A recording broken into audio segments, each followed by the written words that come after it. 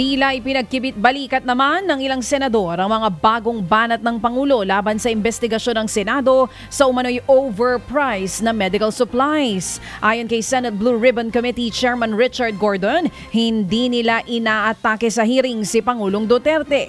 Mas maigi raw sana kung tumutulong na lamang ito sa pagbusisi sa anomalya, lalo't sangkot sa issue ang ilan sa kanyang dating appointees. Sinagot din ni Gordon ang pang-body shame sa kanya ng Pangulo lalo't kaya pa rin daw niyang manalo kung pagandahang lalaki lang naman ang pag-uusapan.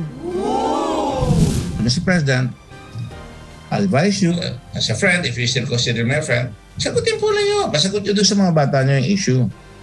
Bakit yung tatawagin mataba ako? Alam ko po mataba ako. eh, hindi man doon tayo nagpapagandahan ng lalaki. Palagi ko, mananalo naman ako sa inyo pagka nagpagandahan lalaki tayo. Yan ang tinig ni Senator Richard Gordon. Kaugnay niyan, kinastigo rin ng mambabatas ang kanilang kapwa-senador na si Senator Bongo na nadadawit ngayon sa issue. Base kasi sa mga pahayag nito, tila mas kinakampihan daw ni Go ang Pangulo imbis na ipagtanggol ang Senado. Bakit hindi mo dinefend yung Senado sa Presidente?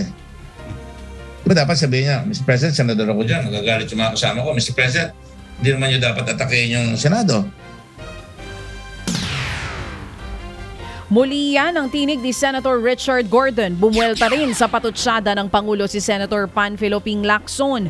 Tila nasa panic mode na raw kasi si Pangulong Duterte dahil nauungkat na sa Senado ang mga anomalya sa paggasta nila sa bilyong-bilyong budget ng DOH. Gayunman, iginiit ni Lacson na hindi sila magpapatinag hanggat hindi lumalabas ang katotohanan. Ted Filon at DJ Chacha. Ngayon, nasa Radyo 5, 92.3 News FM. Monday to Friday, 6 to 10 a.m.